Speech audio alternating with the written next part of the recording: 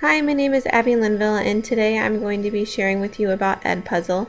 Edpuzzle is a website that helps you organize videos that you may show in your classroom and it also allows you to create quizzes to go along with those videos and provides a way for you to track your students um, viewing of the videos and their progress and understanding using the quizzes that you assign to them.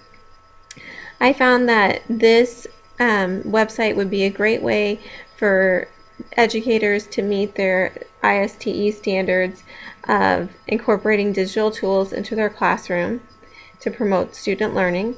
And I also thought it was a great way to show that um, the teachers um, was fluent in current technology systems. So I'm going to go ahead and show you um, how to use Edpuzzle You'll first sign up for an account and all you need to sign up for an account is an email address and then you'll create a password. After that it will take you to the home page which is what is being shown right now.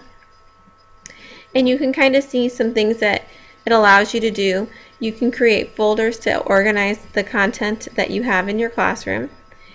Um, it also has some tools to help make sure that your students are using the videos um, effectively by allowing um, you to block the students from skipping ahead in the videos.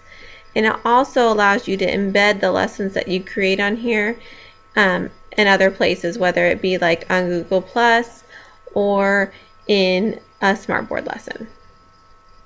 So if you go over, you can create a class. So if you click on the My Classes, then you can click Add Class and then it will have you type in the name of your class um, the subject area, and the grade level. After you create your class, it will give you a class code. Um, when you have your students register on the Edpuzzle website, which would be free for them as well, then they'll just click in that class code and then it will give them access to the content that you're assigning for the class. So I'm going to go ahead and go over to my content and show you how to use this. So I have already um, uploaded a YouTube video that um, I was wanting to use in my classroom.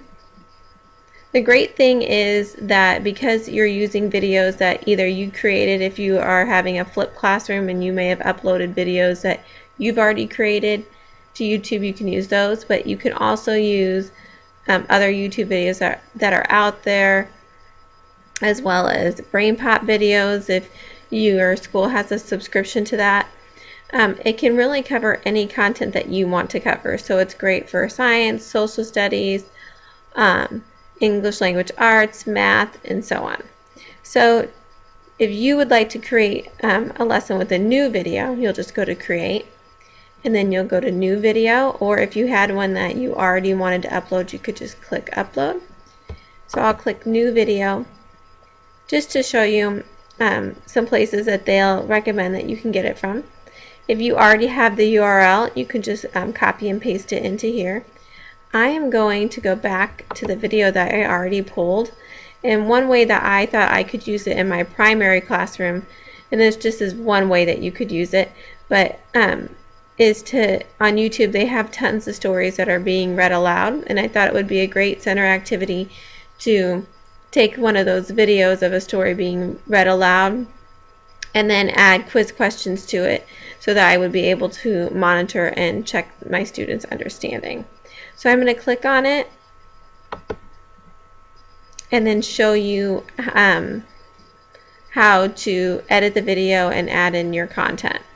So this is where you can crop the video. If you don't want to show the whole story, maybe just half the story, you can just move these in and out to crop the video. I want the video to be left whole, so I'll just leave it as it is. Um, this little microphone here is to create an audio track if you wanted to add you talking over the entire video. Um, this is what you would click on.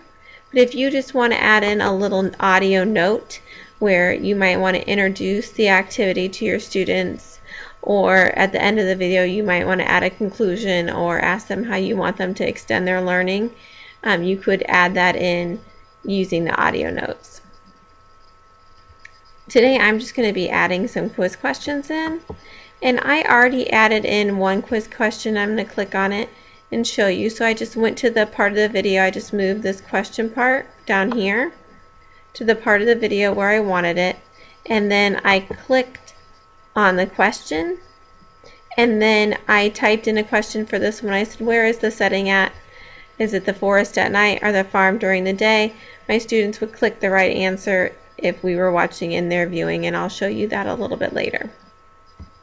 So I'm going to click continue. It's going to start playing the video. I'm going to um, press play and then I'm going to move it along a little bit. And then if I wanted to add a new question in, taken away. Oh! I might want to say, um, I'll click on it. And then I want to do a test question. You can do an open-ended question or a multiple choice. I'm going to do the multiple choice. And then I would just type in where a question, where are the animals going? And then I type in the right answer here and the wrong answer. If I wanted to give more than two choices, I could um,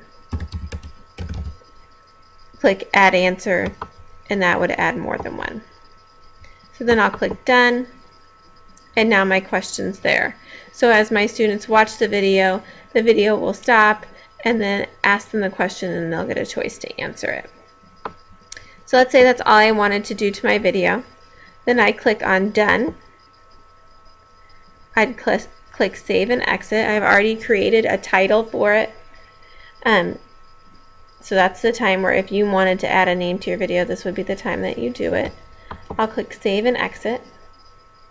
And then I get to select the class that I want to assign the video to. I only have right now um, one student assigned. I just created a generic student. So I click on that and then I also clicked on prevent skipping so the student would be able to skip ahead in the um, the student would be able to skip ahead while watching the video.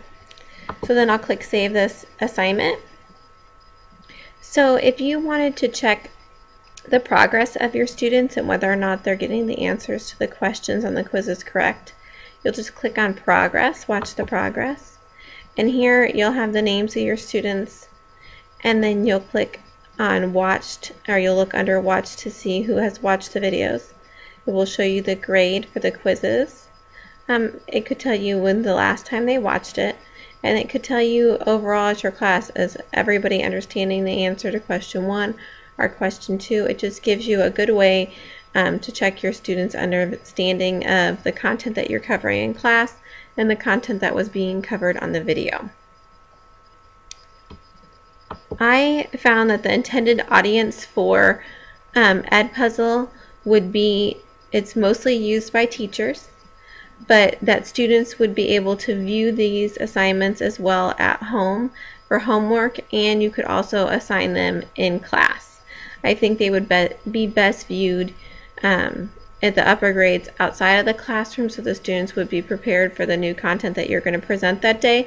But I also think that it could be used in the primary classroom as a center that you assign students um, during your guided reading block. I hope that um, you saw Edpuzzle as something that you might want to use in your classroom. I think that is a great tool and I think that it would be um, a great way to integrate technology into your instruction. Thank you for watching.